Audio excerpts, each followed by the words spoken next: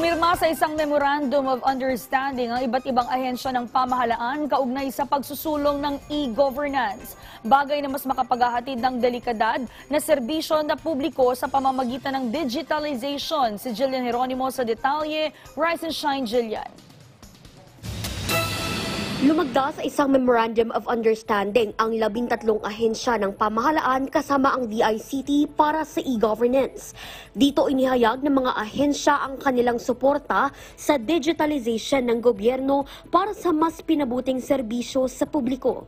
13 government agencies here signed memorandum with us for, for the DICT to help them um, in their journey through digital transformation, uh, to help them uh, secure their data, their information, to protect the data privacy of their constituents, Kasama sa ilalim ng digitalization program ang paggamit ng eGov PH Super App na isang one-stop online platform na may eGov Cloud, eGov Pay at eTravel para sa contactless at paperless transactions.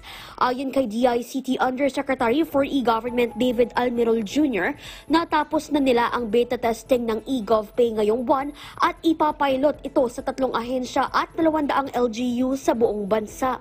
Sinimula ng DICT nitong nakaraang Desyembre ang MOU signing kasama ang DTI, DILG, DOT, Land Bank, GSIS, SSS at Mindanao Development Authority. Nitong Marso, PhilHealth naman at LTO ang lumagda rito. Jillian Heronimo para sa Morning Show ng Bayan, Rise and Shine, Pilipinas.